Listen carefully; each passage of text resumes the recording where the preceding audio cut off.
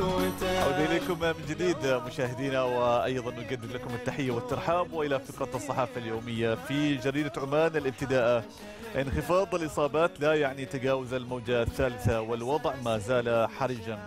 السلطنة تحتفل باليوم العالمي للمتاحف تحت عنوان التعافي وإعادة التخيل.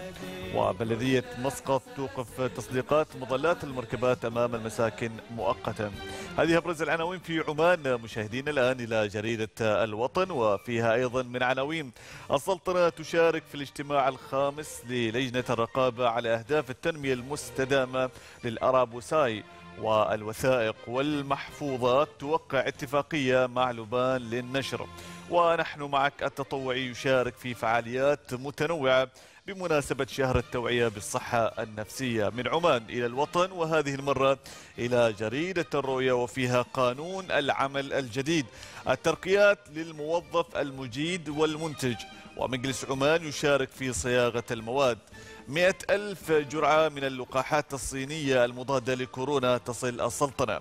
وللمرة السادسة السلطنة تناقش على كأس العالم للقدرة بأربعة فرسان هذه إذا مشاهدي الكرام أبرز العناوين في عمان والوطن وكذلك الرؤية استعرضناها لكم بكل الحب فاصل قصير.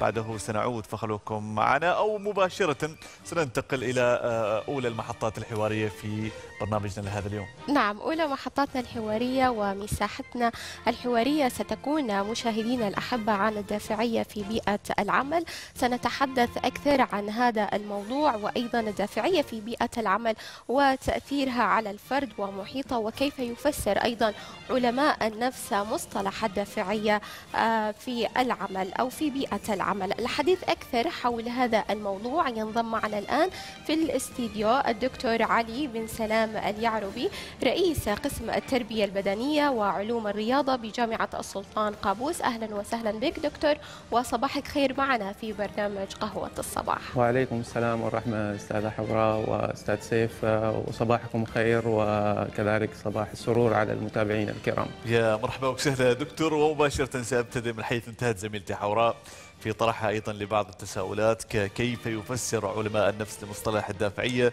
فهذا هو أيضا سؤالي الأول. نعم شكرا في البداية على هذا السؤال. الدافعية باختصار هي الوقود المحرك للإنسان. الدافعية هي عبارة عن استعداد الفرد أو الطاقة الكامنة الموجودة داخل الفرد للقيام بسلوك معين لتحقيق هدف معين. جميل. فيعني متى تحس أن أنت عندك دافعية؟ إذا كانت عندك رغبة غير مشبعة. مثلا الجوع. هذه رغبة غير مشبعة. لما أنت تجوع تقوم بسلوك معين لكي تشبع هذه الرغبة. تتصل بالدليفري تذهب إلى المطبخ.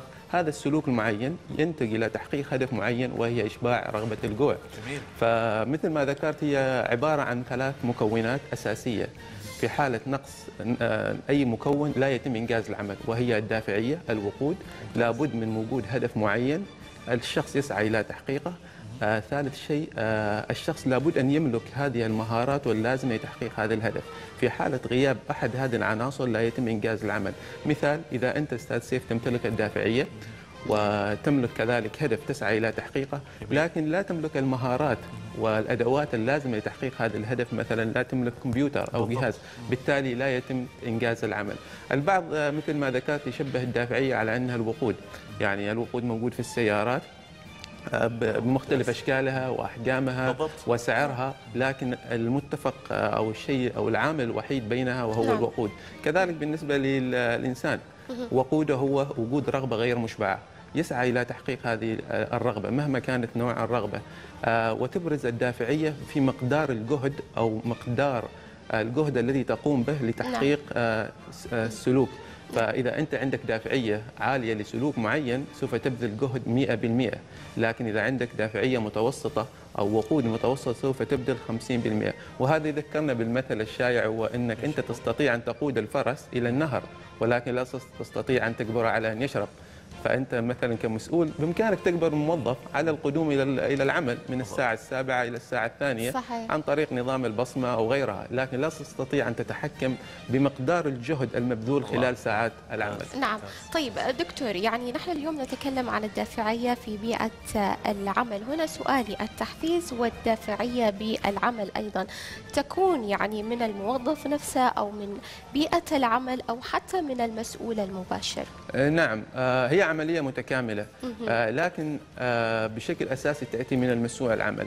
فإحنا قبل لا نطلب من المسؤول أن يقوم مثلا بتعزيز الدافعية في العمل لابد أن نختار المسؤول المناسب. كيف يتم ذلك؟ في البداية لابد أن نعرف آه، طبيعة آه، الجهة والمؤسسة. ما هي المميزات التي تقدمها؟ اثنين آه، كذلك آه، نوعية أسلوب القيادة المناسب لهذه المؤسسة والجهة. ثلاثة طبيعة الموظفين قدراتهم إمكانياتهم ماذا يحتاجون؟ ما هو الأسلوب آه، القيادة اللي يتناسب معهم؟ إذا قدرنا آه، ندرس هذه الثلاث عناصر سوف آه، نختار القائد آه، المناسب أو القائد الذي يعمل على رفع من إنتاجية المؤسسة. مثال إذا عندك أنت مؤسسة أو جهة عمل تعطي مكافآت ومميزات إيجابية كالعلاوات والبونس وغيرها. إذا أنت ما محتاج هنا قائد أو مدير يقوم بالتعزيز على قدر ما محتاج قائد يساعد على رفع الإنتاجية لأن المؤسسة already تقوم بهذا بالتعزيز.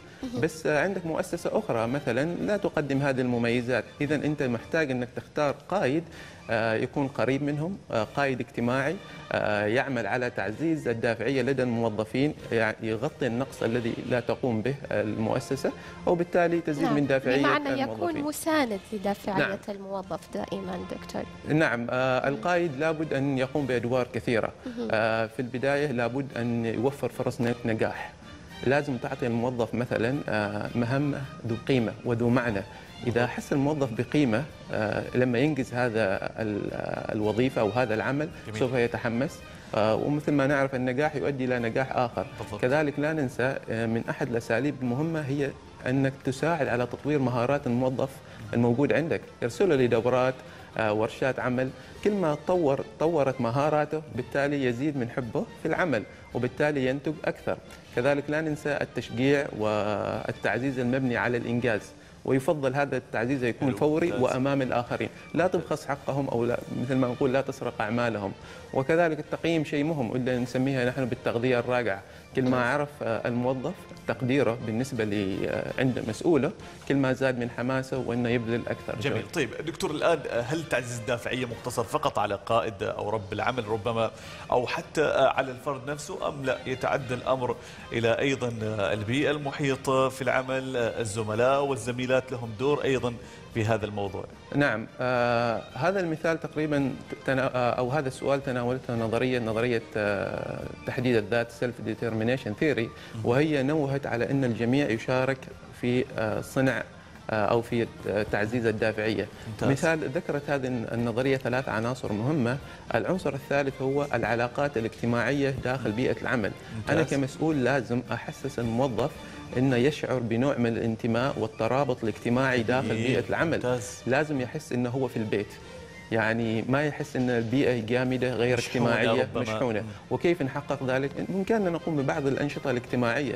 الزيارات خارج أوقات العمل نطلع إلى حفلات الشوى آه، نتبادل هدايا العيد ميلاد نحتفل في مكان العمل يعني مجرد خمس دقائق. لكن آه، أثر هذه العلاقات الاجتماعية لها دور كبير في زيادة آه، الدافعية وبالتالي زيادة الإنتاجية في العمل. آه، كذلك ما ننسى إنك أنت كمسؤول لازم آه، تحسس آه، أو تشعر الموظف آه، بكفاءته وتثني على جهوده آه، وتعطيهم مساحة للإبداع.